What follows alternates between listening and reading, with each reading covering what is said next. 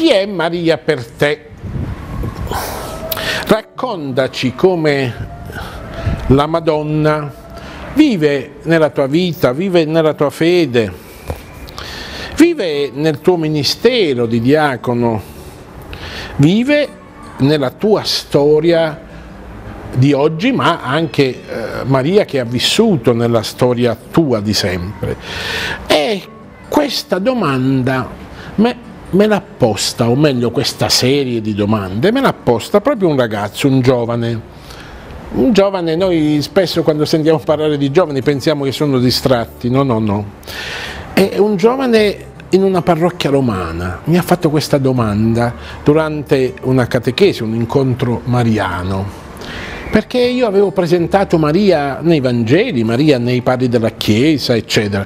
E lui mi ha detto, ma tu come vivi questo rapporto? E oggi ve lo voglio raccontare. Chi è per me Maria? E per me è stata sempre una presenza fissa nella mia vita, soprattutto nei momenti difficili, io dico sempre che se non avessi avuto Maria, la Madonna, al mio fianco, se la Madonna non mi avesse preso per i capelli che prima avevo, che adesso non ho più, io non so a quest'ora dove sarei. Quindi per me la Madonna è una madre. Forse quella madre che mi è mancata anche tanto a livello terreno. La Madonna è stata una madre che sempre mi ha accompagnato, soprattutto quando il progetto di Dio non era chiaro, quando io non capivo, non volevo capire il progetto di Dio. Maria è colei che ha accarezzato le mie solitudini, le mie fragilità, i miei peccati, ma è anche colei che ha riscaldato il mio cuore, colei che mi ha dato coraggio. Ma come? In che maniera? Attraverso tante opportunità, dalle persone ad una lettura eh, fino semmai a, a, a, ad una visita in un santuario. Maria per me è stata madre ed è stata sorella.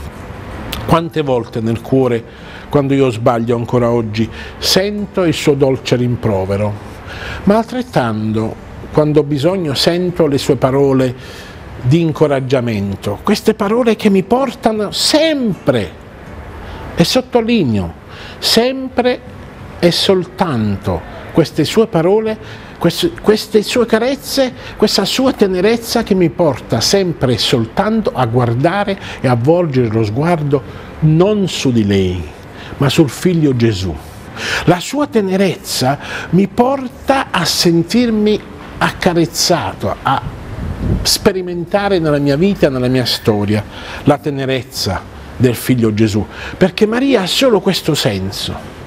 Maria ha senso solo quando ci porta a Gesù, ma dall'altro lato Maria la si capisce soltanto a partire da Cristo, cioè Maria e Cristo, Cristo e Maria non si separano. E io grazie a Maria che ho conosciuto e che amo Cristo e che amo la Chiesa. Questa per me è Maria, una madre e una sorella nella fede. Noi ci vediamo domani, Pare Pio TV, dritto al cuore. Ciao a tutti!